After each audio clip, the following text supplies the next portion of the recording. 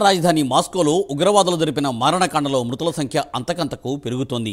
క్రాకస్ city concert హాల్లో శుక్రవారం నాడు ఐసిస్ తీవ్రవాదులు జరిపిన దాడుల్లో ప్రాణాలు కోల్పోయిన వారి సంఖ్య ఇప్పటి వరకు నూట పదిహేనుకు చేరుకుంది. నూట నలభై ఐదు మంది గాయపడ్డారు. మరోవైపు ఈ ఘటనకు సంబంధించి పదకొండు మందిని శనివారం పోలీసులు అరెస్ట్ చేశారు. అరెస్ట్ అయిన వారిలో నలుగురు ఉగ్రవాదులు కూడా ఉన్నట్లు పోలీసులు పేర్కొన్నారు.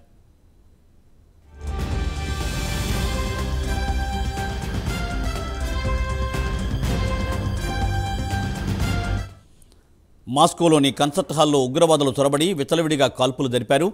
రష్యా అధ్యక్షుడిగా పుతిన్ గత వారం జరిగిన ప్రెసిడెన్షియల్ ఎన్నికల్లో ఘన విజయం సాధించిన వెంటనే ఈ దాడులు జరగడం గమనార్హం. మాస్కో శివారు ప్రాంతంలో ఈ కన్సర్ట్ హాల్ సమీపంలో క్రిస్టియన్ల జనాభా పెద్ద సంఖ్యలో ఉండడం వల్ల ఈ ప్రాంతంలో ఐసిస్ ఉగ్రవాదులు దాడులు జరిపారు. ఇదిలా ఉండగా ఉక్రెయిన్ ప్రభుత్వం ఈ టెర్రరిస్ట్ దాడులతో తమకేమీ సంబంధం లేదని స్పష్టం చేసింది. ఇక రష్యా అధ్యక్షుడు పుతిన్కు తాజా పరిస్థితిని ఎప్పటికప్పుడు ఫెడరల్ సెక్యూరిటీ సర్వీసెస్ చీఫ్ సమాచారం అందిస్తున్నారు.